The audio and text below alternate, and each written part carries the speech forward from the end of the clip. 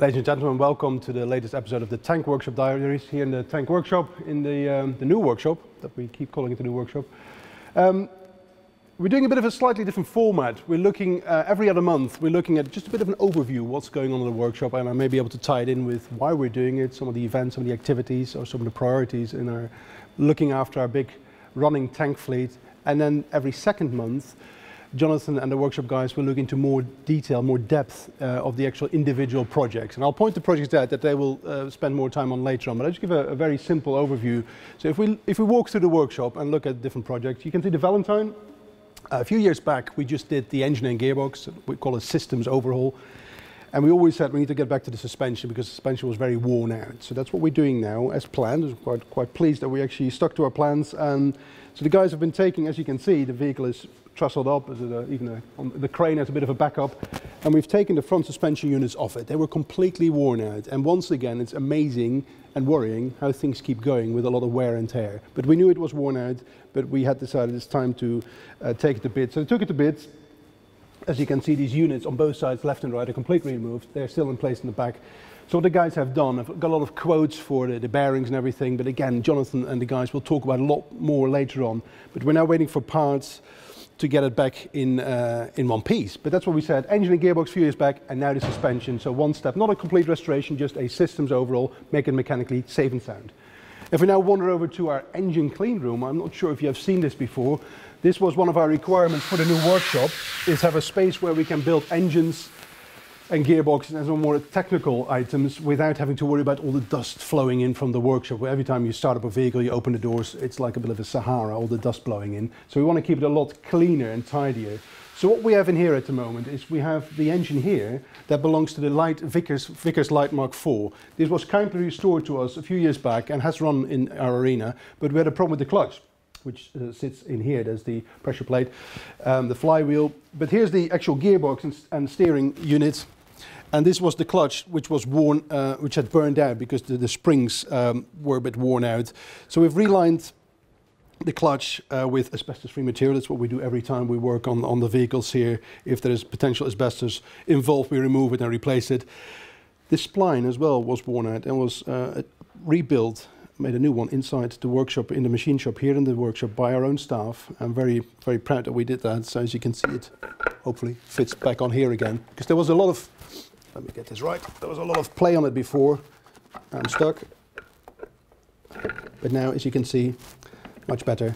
So this is just waiting assembly now. I think we have to machine this down a little bit to make sure it fits again on the, uh, on the engine. They will be reunited and then the whole thing will be fitted in the vehicle we're looking at a bit. While we're in the engine clean room, You'll probably recognize it. This is a Rolls-Royce Meteor, so it's the tank version of the famous Merlin engine, even though it's quite different to the Merlin. It, it shares the, the basics. It's a 27-liter V12 engine. Fantastic motor for the, for the, um, the tanks like the, uh, the, the Comets, uh, the Cromwells, and of course the Centurion. This one isn't out of our particular Centurion, but we are going to bring our Centurion takeout in here because it's currently not running, and we need to do some engine work on it. Next to it, on the pallet, we have a a cylinder head and bank. So this bit of the engine, uh, which we managed to acquire from some of our uh, friends at Duxford, from the, a company that, that, restores and flies historic aircraft. These were fitted to a, Merlin engine, but of course that is not for airworthy standards. So they kindly offered it to us. We managed to purchase it. So we have a spare uh, heads and banks for our um, Meteor. So once this is out, we are very keen, the guys are very keen to start working on a Rolls-Royce Meteor because it's one of those things we want to get a grip on here at the Tank Museum because we run quite a few of them. So moving on, probably best this way. Uh, again, more bits and pieces. There's a stillage full of uh, Scorpion, more of that later. There's the Vickers Light Mark IV, the engine and gearbox we just looked at in the clean room will be reunited in there. So once it's being reassembled, it will be lifted back in, a bit more work on the suspension, and then it can go out again. Behind there, the 432, that's, that's P4, so it's a prototype 432. It's actually quite a significant vehicle for the Tank Museum. It was on loan to a railway museum in Scotland. It came back somewhat unexpectedly, and we didn't have any space for it, so now at least it lives safely, safely in here. After the big vehicle move that we did last year for the World War II Gallery, we have a, quite a few vehicles left over in here at the moment, so almost every second vehicle is, is storage, but they need to be safely inside. So, um, yeah, let's uh, look at the next project. So again, the Chaffee, for example, that's a bit of a, uh, uh, it's a running vehicle, but we don't have any space for it at the moment, so it just lives in here safely inside.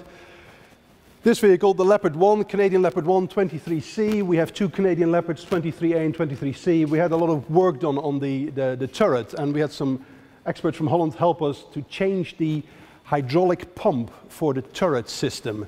There's still some tweaking to do with it. It needs to be reset probably. It's a bit like when you remove your radio from your car. It probably needs a code when you put it back in. They did a fantastic job. But um, yeah, it needs a bit of a reset. Control or delete probably. More on that later in one of the more in-depth uh, tank workshop diaries. Uh, some suspension units just came back from the Valentine. Another vehicle that probably wasn't featured in any of the uh, previous tank workshop ep episodes is a Mowag Piranha, uh, eight-wheeler. Normally it lives with the turret, uh, but we don't have the turret with it. This is sort of the mother vehicle of the Mowag family. Um, we also have the Cougar, the ex-Canadian Cougar, which you may have seen here as part of the Tanks in Action display that we run, but this is part of that same family. So you have the eight-wheel version, the six-wheel version, all different types of uh, build-ups on top um, with a turret, without a turret, recovery, you name it. Uh, again, one of those typical things within the military, you see one standard uh, family of vehicles with different uses. Chieftain in Berlin Camo, this was on loan to the National Military Museum in the Netherlands, has returned from loan, so here it is again, sort of storage till we find a, home for it. Uh, Mark 1 Centurion came out of the World War II exhibition. It goes back in in a few months' time, so again, it temporarily lives here. A very significant vehicle, so we don't want it just to be uh, dotted around and move back and forth, so that's why it temporarily lives in the workshop. Another vehicle we just finished, and again, I think it was featured in previous Tank Workshop diaries, is the uh, Elvis Scorpion. And we had a lot of work done on it, and then just when we thought it was right, the engine failed. The engine had been in it for years, uh, so Jacob, our apprentice, has done a fantastic job to rebuild a previous takeout we had. So we're always very keen that instead of just replacing, that we repair what we have when we can.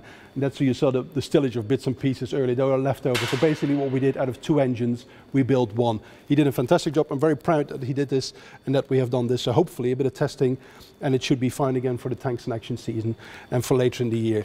Just a very quick, and all the vehicles you see in here, obviously part of our running fleet, apart from the vehicles we're storing, all these vehicles are listed, are scheduled in throughout the year to take part in Tanks in Action, Tank Fest or Tiger Day. So there is a bit of a, there's a plan to what, what we prioritize in the year, uh, the type of work needed, that we make sure these vehicles can be ready for the upcoming events. Just behind us here, of course, we have the M60, uh, another vehicle that we run uh, for Tank Fest will go out. It also has a week of Tanks in Action. Every week we do of the nine Tanks in Action weeks is slightly different.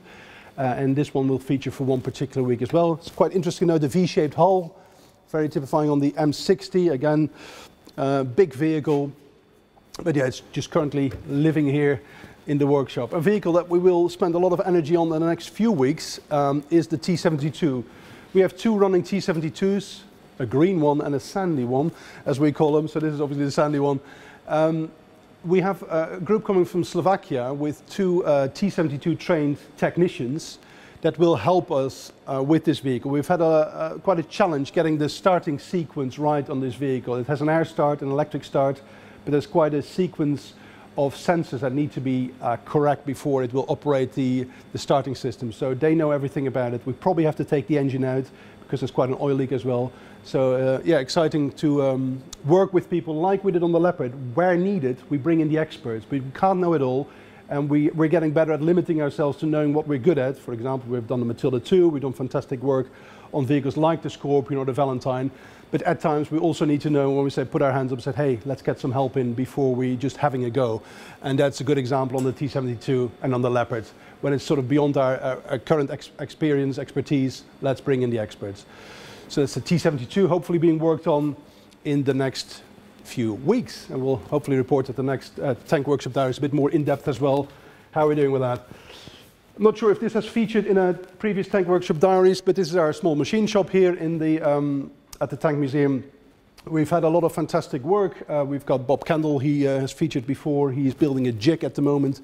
Um, in the background there, that's a jig for the suspension. That's one of the suspension units from the Valentine that we looked at previously, so he's making a whole clamping arrangement to, to safely disassemble it. There'll be a lot of tension on these things to make sure we don't have a suspension unit blasting through the workshop. So again, fantastic, uh, but Jonathan will talk more about it later in one of his specific Valentine Tank Workshop diaries. We've got a, so we've got a a mill, we've got a, a lathe, and another thing, Jacob, who I mentioned, has been doing our uh, J60 engine for the Scorpion, has done a fantastic job on that. He is now also machining some bits and pieces for the Valentine suspension. For example, these are all for the top rollers. Again, these fantastic what he has done. Uh, some machining work. I hope I don't mix them up here. But just to give you an idea how worn out some of the parts were, this is the top roller from um, uh, Bushes for the uh, Valentine. So yeah, it was time for a, a, renewal there, and he's done all this on this on this uh, lathe.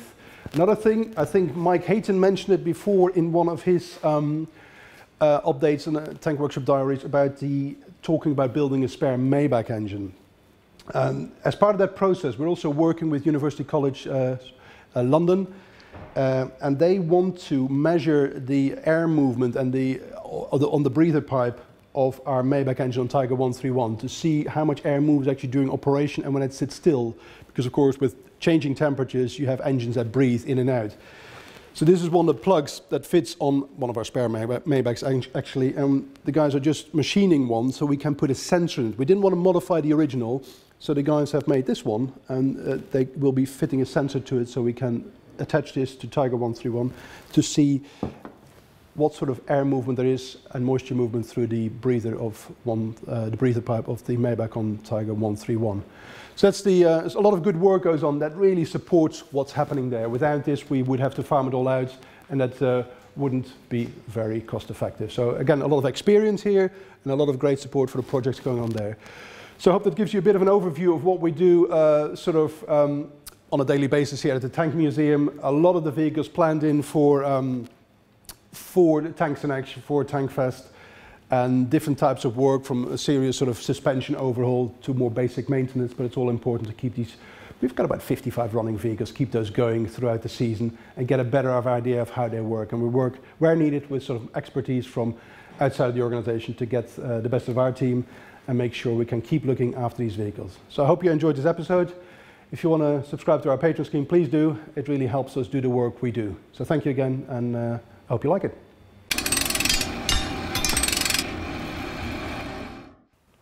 Hope you enjoyed this video, and if you did, please subscribe to the Tank Museum's YouTube channel, and if you can, support them on Patreon.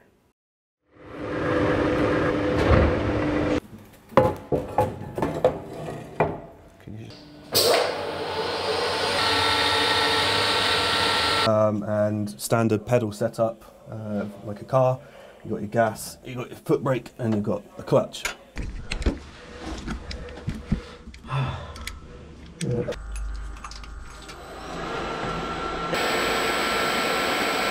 Yeah. it's going to take a while. Yeah. This is going to take a while. It really is.